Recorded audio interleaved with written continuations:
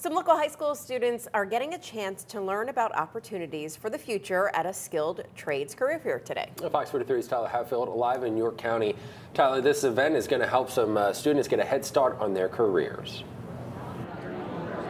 Yeah, Sean, you're exactly right. There's a whole bunch of students here right now in the Wyndham Garden, York right now. They're all looking at the booths. I think, I believe this is Dallastown and York Tech right now, checking out everything, checking out new career opportunities within the skilled trades. And I'm joined with one of the students now. I'm joined here with Amira. She is from York Tech. And Amira, you study construction trades. So when you walked through today, what were you looking for? Um, so I was actually looking for co-op opportunities as a senior. I'll be graduating next fall for um, for construction trades from York Tech, and I was looking for internships or co-op opportunities that uh, some of these jobs offered for students. So. And what got you interested in trades? You know, what do you think is a good reason to go into this? Um, I think it's a good reason to get go into this career and to go to York Tech because it gives you like a good opportunity to learn more on like hands-on and gets you like the more opportunities um, as like a minority and stuff like that.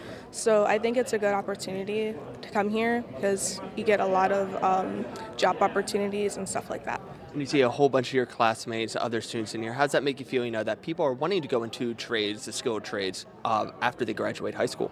Um, it makes me feel good that we have like a lot of um, students here that are also interested in this job opportunity, and just to feel makes me feel good that they're also having opportunities as well. So um, I think that's a cool thing.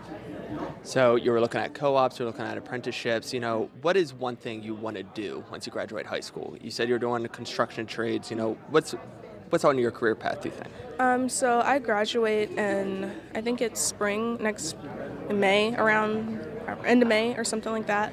And um, when I graduate, I plan on majoring in architecture. So um, next fall, in around like August, September, I'll be going into either Morgan State or Penn State for architecture.